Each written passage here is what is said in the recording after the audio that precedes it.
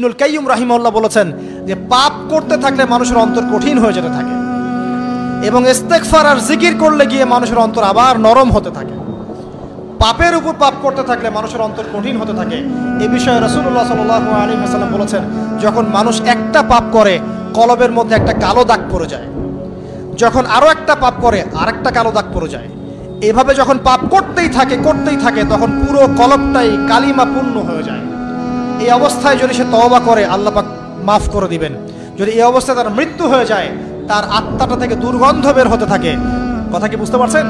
যখন অন্তর পাপ করতে করতে কলুষিত হয়ে যাবে, ওয়াকাদ দাসাহা, যখন পাপ করতে করতে অন্তর কলুষিত হয়ে যাবে, তখন আপনার এই মালাকুল মৌত পর্যন্ত ওই আত্মাটাকে বের করার সময় ঘৃণা করবে, দুর্গন্ধযুক্ত আল্লাহ পাক আমাদেরকে পাপ থেকে বাঁচিয়ে রাখুন আমি এরকম কিছু কাজ আছে। বস্তুবাদিতা, শির্ক, বেদাত, হারাম রিজিক, সারাদিন দুনিয়ার ফিকির নিয়ে থাকা, ঠিক আছে? অন্যের ক্ষতি করা, পাপ কন্টিনিউয়াসলি করতে থাকা এবং দিন ছেড়ে দেওয়া, দিনের এলেম ছেড়ে দেওয়া আল্লাহ পাকের আনুগত্য ছেড়ে দেওয়া এই কাজগুলো করতে থাকলে মানুষের অন্তর কি হয়? কঠিন হয়ে যায়। এখন সলিউশন কি বলেন? পাঁচ মিনিটে আমি সলিউশন বলছি। কেমন করে আপনি এটাকে নরম করবেন আর পরিশুদ্ধতা অর্জন করবেন এবং ওই পাখির মতো মুক্ত আকাশে উড়বেন? কীভাবে? বলব? এক নাম্বার, অবশ্যই শিরিক ত্যাগ করতে হবে। কি করতে হবে? শিরিক ত্যাগ করতে হবে, আল্লাহ পাকের তাওহিদের উপর থাকতে হবে, আল্লাহ পাক তৌফিক দান করুন।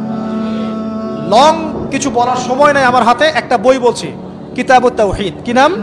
কিতাবুত তাওহিদ। এই বইটা অনেক ভার্সন বাজারে বের হয়েছে। কিনে দেখবেন শিরিক কত প্রকার কি কি, তাওহিদ কাকে বলে, কত প্রকার কি কি। যেটা বুঝবেন না, মাদ্রাসা চলে যাবেন আলেমুল আমার কাছে গিয়ে জিজ্ঞাসা করবেন, হুজুর, এটা বুঝি নাই? ঠিক আছে?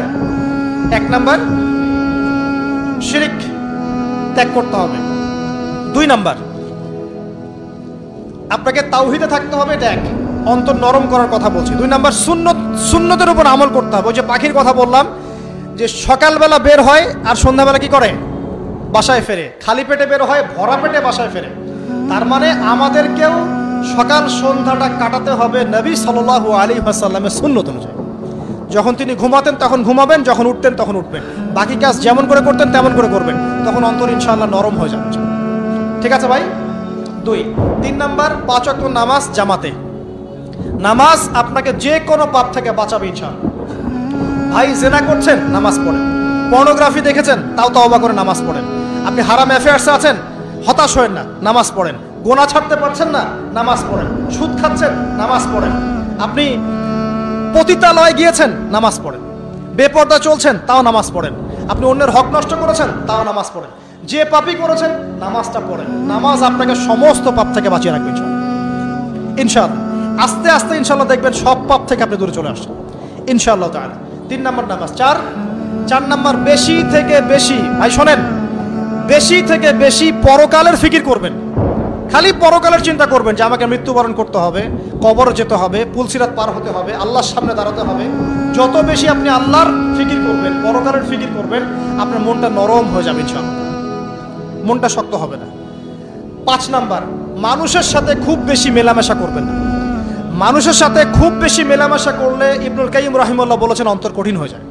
কারণ মানুষ আপনাকে গিবোধ করাবে হ্যাঁ মানুষ খারাপ কাজে নিয়ে যাবে, বেফাস কথাবার্তা বলবেন হয়তো বেফাস কাজ করবেন, ফুজুল কি বাদ করবেন, এগুলো করতে গিয়ে আপনি দেখবেন অন্তর কঠিন হয়ে গেছে। এত বেশি মানুষের সাথে মেলামেশার দরকার নেই। প্রয়োজন যতটুকু, অতটুকু ঠিক আছে? আল্লাহ পাক তৌফিক দান করুন। আমিন। কটা বললাম? পাঁচ, ছয়। আমার সবচেয়ে প্রিয় নসিহত। প্রত্যেক দিন মিনিমাম এক ঘণ্টা করে কোরআন তেলাওয়াত করবেন, বুঝে। আমি বলিনি না বুঝে করলে কোনো নেকি হবে না।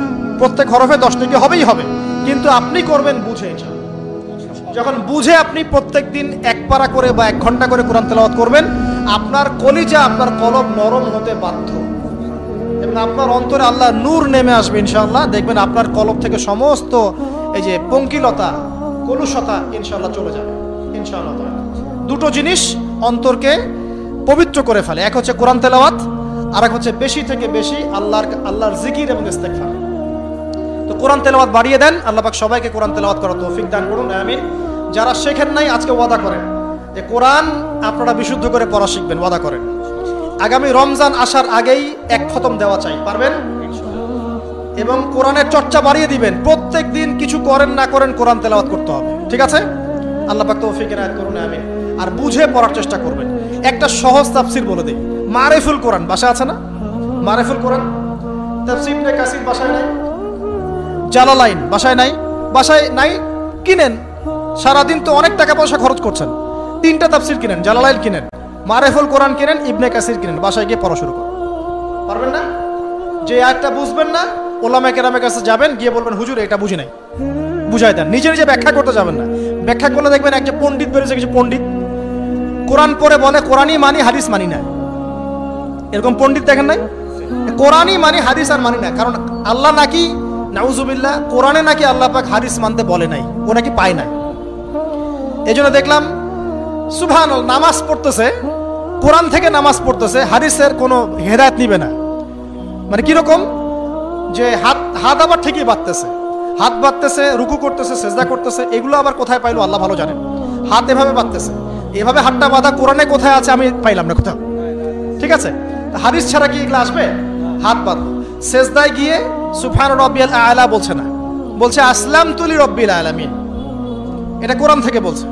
অথচ নবী সাল্লাল্লাহু আলাইহি সাল্লাম হাদিস থেকে বলছেন সুবহান রাব্বিয়াল আলা, সুবহুন কুদ্দুসুন রব্বুল মালাইকাতি ওয়ার রূহ। সুবহানাকা আল্লাহুম্মা রাব্বানা ওয়া বিহামদিকা আল্লাহুম্মা ইগফির। এইগুলো নাই। ও বলছে আসলাম তুলি রব্বিল আলামিন। মানে কোরআন মানি, হাদিস মানি না। এত বেশি পণ্ডিত হওয়ার দরকার নাই। এরা হচ্ছে ইচড়া পাকা টাইপের পণ্ডিত। ওমর রাদিয়াল্লাহু আনহুর যুগে বেঁচে থাকলে এদেরকে পিটাই সোজা করে ফেলাইতে হবে। ফাইসলামি শুরু করছে। কোরআন মানি, হাদিস মানি না। আল্লাহ পাক কোরআনে বলছেন ওয়ামা আতাকুমুর রাসূলু ফাখুযু। রাসূল যা দিয়েছেন তা গ্রহণ করো। ওয়ামা নাহাকুম আনহু ফানতাহু। রাসূল যা নিষেধ করছেন, দূরে থাকো। রাসূল যা দেন সেটা হাদিস না। রাসূল যা দেন সেটা সুন্নাহ না। সুন্নাহ তো সে মানেই না আলটিমেটলি সে কোরআনই মানে না। তো আসল কথা হচ্ছে, এইসব ফেতনা থেকে বেঁচে থাকবেন। কোরআন তেলাওয়াত বাড়িয়ে দেন। কয়টা বলছি? পাঁচটা? ছয়টা। সাত নাম্বার, বেশি থেকে বেশি ইস্তেগফার।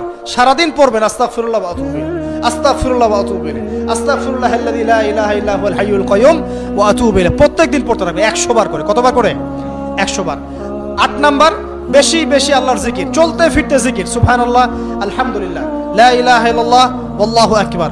লা হাওলা ওয়ালা কুওয়াতা ইল্লা বিল্লাহ। বলবেন, হাসবুনাল্লাহু ওয়া নি'মাল ওয়াকিল। ঠিক আছে? সুবহানাকা আল্লাহুম্মা রাব্বানা ওয়া বিহামদিকা আল্লাহুম্মা ইগফিরলি। সুবহানাল্লাহি ওয়া বিহামদিহি, আদাদা খালকিহি ওয়া রিদা নাফসিহি ওয়া জিনাতা আরশিহি ওয়া মিদাদা কালিমাতিহি যত জিকির আছে সব করবেন। জিকির বাড়াবেন। যত জিকির বাড়াবেন, অন্তর পরিশুদ্ধ হবে ইনশাআল্লাহ আজ্জা ওয়াজাল কয়টা বলছে? আট? আর দুটা বলি, নয়। অন্যের হক নষ্ট করবেন না। অন্যের হক নষ্ট করলেই মন কঠিন হয়ে যাবে। অন্যের হক নষ্ট করবেন না, বরং মানবতার কল্যাণে কাজ করেন। যে কাজগুলো মানব সেবামূলক সেগুলো করেন। রক্তদান কর্মসূচি করেন, গাছ লাগান, এতিমের মাথায় হাত বোলান, বিধবার খোঁজ খবর নেন, ঠিক আছে? মেয়েদের সেলাই মেশিন কিনে দেন, মানুষের উপকারে কাজ করেন। দেখবেন আপনার মনটা নরম হয়ে যাবে। যার মন নরম এবং যার মনের মতো সততা আছে, আল্লাহ পাক ইনশাল্লাহ সেখানে অবশ্যই হেদায়ত ঢালবে, ইনশাআল্লাহ আর দশ নম্বর সবচেয়ে শেষ হচ্ছে যে, কবর জিয়ারত করবেন বেশি বেশি করে এবং নিজের মৌতের কথা স্মরণ করে আল্লাহর কাছে বেশি বেশি দোয়া করবেন। কি দোয়া করবেন? ইয়া মুকাল্লিবাল কুলুব, সাব্বিত কলবি আলা দিনিক, ইয়া মুসাররিফাল কুলুব, সররিফ কুলুবানা আলা তাআতিক। এই দোয়াগুলো করবেন ইনশাআল্লাহ। এবং কবর জিয়ারত করবেন সপ্তাহে সপ্তাহে, পারলে দুই দিন, তিন দিন পর পর। কবরস্থানে যাবেন। ইনশাআল্লাহ দেখবেন আপনার মন নরম হবে ইনশাআল্লাহ ওয়াজাল এখনকার এই সভ্যতা এসে কবরস্থানকে সমাজ থেকে দূরে সরিয়ে দিয়েছে। অথচ আগে মুসলিমদের কবরস্থান ছিল মসজিদের পাশে। পাঁচ অক্ট নামাজ পড়তো, কবর জিয়ারত করে বাসায় যেত। পাঁচ অক্ট নামাজ পড়তে আসতো, কবরকে দেখতো, পরকালে কত স্মরণ হতো। এখন কবরস্থান ওই যে দূরে, সারা জীবনে একবার যায় কিনা সন্দেহ আছে। এই দশটা কাজ যদি আপনারা করতে পারেন ইনশাআল্লাহ তাআলা, আমাদের কলবটা ইনশাআল্লাহ নরম হবে, আত্মশুদ্ধি অর্জিত হবে। আর এগুলোর পাশাপাশি অবশ্যই আল্লাহওয়ালা, আত্মশুদ্ধিওয়ালা মানুষের সহবতে গিয়ে থাকবেন। আল্লাহওয়ালা আত্মশুদ্ধিওয়ালা মানুষের সহবতে গিয়ে থাকলে তাদেরকে দেখেই দেখবেন মনটা নরম হয়ে যাবে ইনশাআল্লাহ। ইলমি পরিবেশে থাকেন দিনী পরিবেশে থাকেন, আমার বিল মারুফ নাহিয়ানিল মুনকারে কাজ করেন, তিন দিন, সাত দিন, চল্লিশ দিন, যতদিন পারেন আল্লাহর পথে সময় লাগান। সময় লাগান। আমি এটাকে আপনার আত্মশুদ্ধির জন্য বলছি। এটাই একমাত্র পথ পদ্ধতি আত্মশুদ্ধির, এটা বলছি না। এখানে গেলে আপনি ইনশাআল্লাহ আপনার ইসলাম এবং সংশোধনের জন্য কাজ করতে পারবেন। আল্লাহ রবুল্লাহ আলমিন আমাদের সবার কলবগুলোকে পরিচ্ছন্ন করুন। আল্লাহ পাক আমাদের সবাইকে শিরকের পাপ থেকে বাঁচিয়ে রাখুন, হৃদয় কঠিন হওয়া থেকে বাঁচিয়ে রাখুন। আল্লাহ পাক আমাদেরকে বেশি থেকে বেশি কোরআন তেলাওয়াত করার তৌফিক দান করুন, দিনী জ্ঞান চর্চা করার তৌফিক দান করুন। আল্লাহ পাক আমাদের সবাইকে হারাম, রিজিক, জেনা, সুদ, ঘুষ থেকে বাঁচিয়ে রাখুন। আল্লাহ পাক আমাদেরকে পরকালীন চেতনায় এই দুনিয়ার জীবন কাটানো তৌফিক এনায়াত করুন, আমিন। আমরা আজকে এই যে পাখিদের মতো অন্তর নিয়ে কথা বললাম আমরা যদি এই আমলগুলোর মধ্য দিয়ে অন্তরটাকে পবিত্র করতে পারি, ইনশাআল্লাহ ওই শহীদদের যে নরম পাখির অন্তর, সেটা আমরা লাভ করতে পারব ইনশাআল্লাহ। এবং জি, এবং আরশের নিচে আল্লাহ রবুল্লা আলমিন আমাদেরকে ছায়া দিবেন ইনশাআল্লাহ তাআলা। আল্লাহ পাক আমাদের সবাইকে পাখি থেকে শিক্ষা নেওয়ার তৌফিক দান করুন, পাখির মতো মুক্ত আকাশে ডানা মেলার তৌফিক আল্লাহ পাক